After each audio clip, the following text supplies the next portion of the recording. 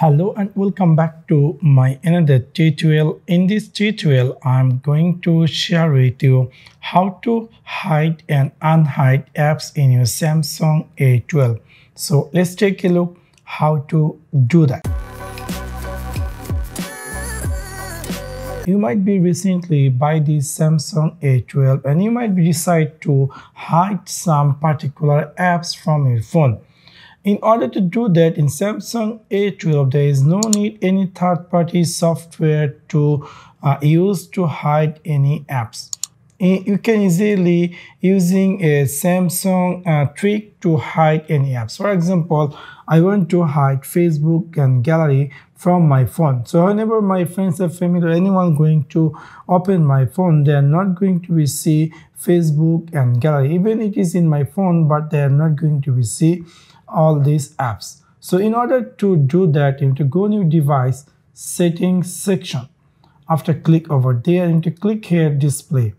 After click over display, you need to click here home screen.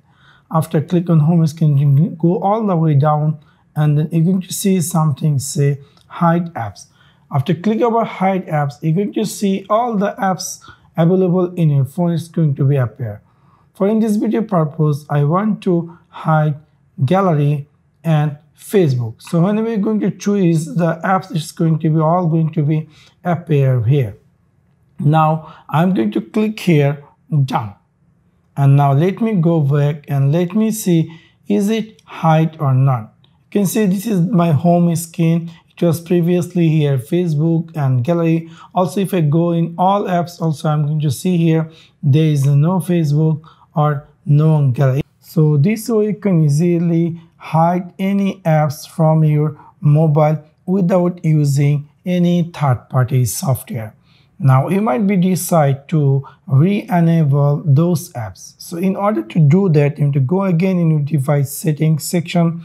After there, you need to click here display and then you need to click here home screen and you need to go all the way down and you need to click here hide apps and you're going to see the apps previously you had hide you can easily uncheck from here and that's going to be appear just like this. And after that you can easily click here done.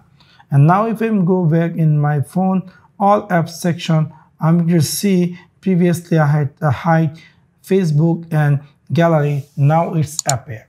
So this is how you can easily hide or unhide apps in your Samsung A12 so that's for now. Thanks for watching my video. See you next one. Peace.